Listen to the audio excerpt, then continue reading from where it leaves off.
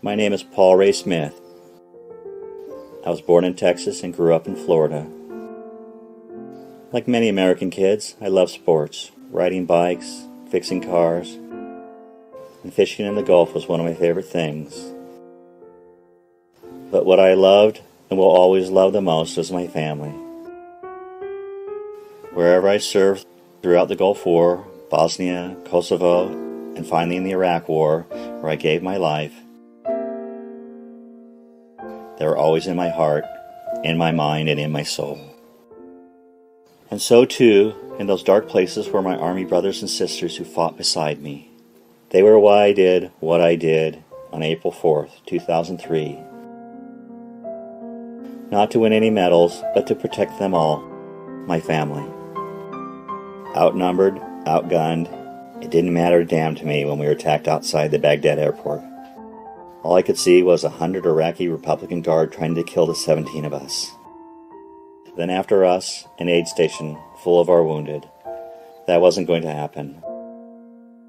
So I ran through the fire to the nearest 50 caliber machine gun I could find on an exposed APC without protective shields and gave it my all. Bullet after bullet, belt after belt, box after box of ammo. I kept hammering at the enemy, ignoring all the rockets and rounds that kept pouring back.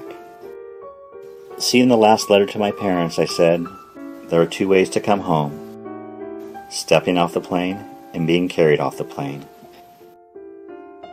It doesn't matter how I come home because I am prepared to give all that I can to ensure that all my boys make it home. They found 13 bullet holes in my armored vest, and the last one, the fatal one, meant my fight was ended. My name is Paul Ray Smith. Please remember me, because if you love freedom, I didn't just die to protect my family, I died protecting yours as well. This history was read with the blessing of Paul Ray's widow, Brigitte.